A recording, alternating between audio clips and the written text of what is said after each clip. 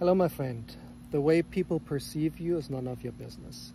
Once you understand how perception is created through our past and how our emotional state intensely color the way we experience the world around us and the way we perceive people, you stop trying to live through your ego and trying to influence how people perceive you.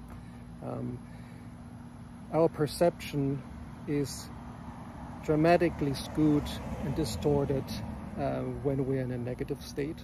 And uh, even then, when people have a perception of uh, the world of you, um, there's nothing you can influence. And uh, once you understand that, you let go of your ego to try to impress people and you live through your authentic self.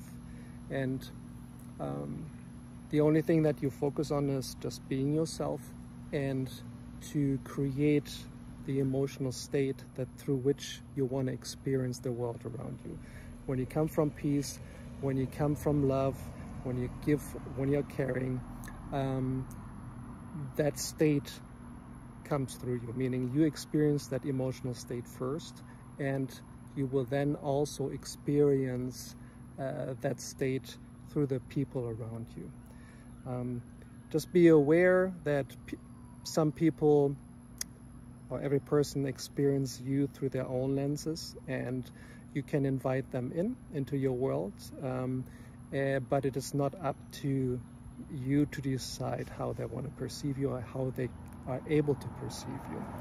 Um, I hope this gives you a little bit more of a deeper insight of you and um, the ability to let go of other people's opinion of you. Take care, my friend.